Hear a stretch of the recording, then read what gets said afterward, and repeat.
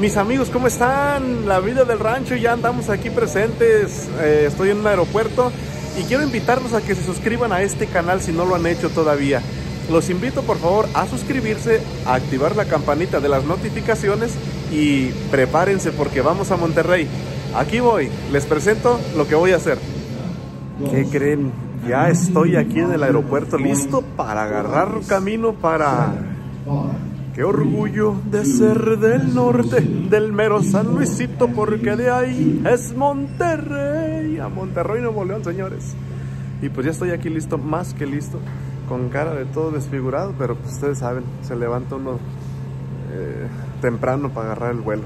Este, voy camino para allá, a las personas que nos vamos a ver allá, ya están por allá listas esperando, así que van a ver en este video que, van, a, van a encontrarme por ahí algunas personas que como ustedes ven los videos y pues se van a llevar una playera obsequiada de la vida del rancho. Qué mejor que en persona, ¿no creen? Así que pues para allá vamos.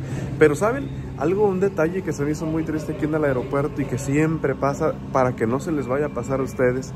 Resulta, imagínense que compran ustedes un vuelo para viajar, obviamente, a algún lugar, pero no sacan el pase de abordar según la aerolínea a tiempo.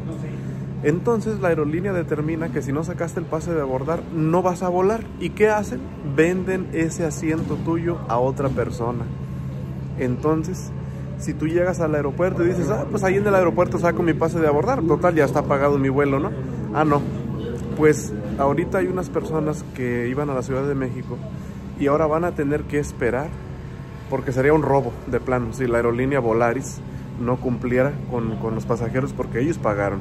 Pero les van a hacer pasar eh, tiempo perdido porque van a volar a Monterrey y de Monterrey a México.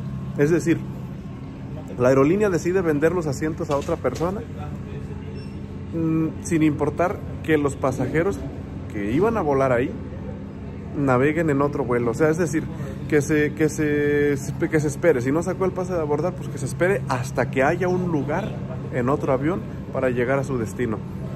¿Qué, qué cosa, no? O sea, eso debería ser acreditador a una mega demanda y a una mega compensación para los pasajeros, para los clientes. Si la aerolínea vende un asiento para que viajes es problema tuyo si viajas o no. A ellos ya les pagaste ese asiento, aunque ese asiento vaya libre, tú ya les pagaste tu lugar y no pueden, no pueden venderlo, no pueden. Ellos, ellos, aunque vaya vacío el avión, si las personas decidieron no viajar, el vuelo está pagado. Entonces, ¿por qué hacer eso? Ni modo. En fin, vamos a ver qué pasa.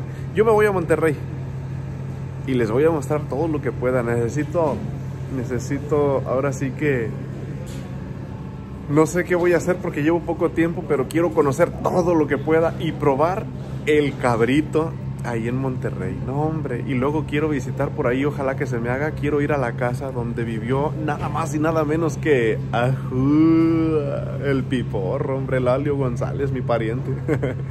que, que quiero ir, quiero estar ahí. Quiero conocer todo detalle de Monterrey. Quiero que esta ciudad me sorprende, yo sé que siento que me va a sorprender. Este, yo voy para allá pues por un motivo muy especial, entonces pues se va a hacer realidad. Así que eh, ahí nos vamos a ver, Monterrey, y les voy a mostrar todo lo que pueda. Espero, espero, está haciendo frío, espero abarcar todo. Las grutas, las cascadas, eh, lo histórico, todo. El Cerro de la Silla, por supuesto, ahí en la fundidora para agarrarlo desde ahí con una buena foto. Ya llegó el avión. Ahí viene, mira. Ahí viene. Entonces, recordatorio. Si ustedes compran un vuelo y están bien seguros 100% que van a viajar, o aunque no lo estén, es más, si ya lo compraron, saquen el pase de abordar en la aplicación de Volaris. Bajen la aplicación de Volaris en su celular y descarguen eh, ahí su pase de abordar eh, para que no pase, para que no haga esto Volaris, porque esto que hace Volaris, la verdad no sé si está en su contrato, pero si no está en su contrato, es una violación a, los derechos como pasajero. Y esto debe de ser demandado, debe de ser denunciado, debería de ser atendido. Pero bueno, vámonos a Monterrey, señores. esperen videos porque se va a poner bueno.